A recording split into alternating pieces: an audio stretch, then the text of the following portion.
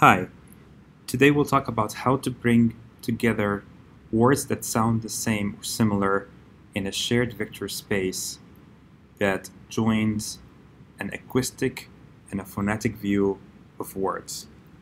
So the idea here is we will use a weakly supervised binary classification task and feed a Siamese network the acoustic representation and the phonetic representation through a series of transformations to calculate a fixed length vector at the end, the embedding, and then with some distance function, we will learn whether or not uh, the loss should update if they're matching or mismatching according to a true label. Now, instead of training it on the actual distance as the true label, we will just train it on a binary label. So the data we have here, we got it from ASR hypotheses and non-expert humans transcribing about 25k short um, recordings. And these recordings do not have and these transcripts and recordings are uh, noisy and the transcripts uh, do not have any alignment. So we actually have to align the audio. And you can see here this is an example of how we do alignment. And while we're doing the alignment we actually do something very cool which is taking hard negative examples as um, mismatched pairs so this is really useful for the contrastive uh, loss function here. It makes it work really hard to learn these subtleties to be able to distinguish between the two classes. And we use a uh, standard audio representation using the mel spectrograms.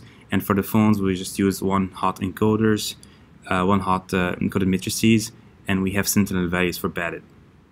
Uh, padding here is basically at the end, while the audio is padded in the center. So our best model here is a Siamese CNN network. Um, and the thing I really want to emphasize here uh, is during training, we introduced a self-training, like a semi-supervised method to learn the hard negatives while you're training. So each round, uh, let's say like every three epochs or so, we will score the embeddings and try to find out the ones that are hard negatives and add them to the training set. The interesting thing we found at the uh, end of the training is um, the embedding space here, as you can see, after projecting it in 2D, it looks really good in terms of like uh, how close the words that are uh, similarly sounding to each other. And we also found this nice like analogy in the phonetic space when you say like what's cat to cool. Um, if you say bad, what would be? It would be actually pool and so on.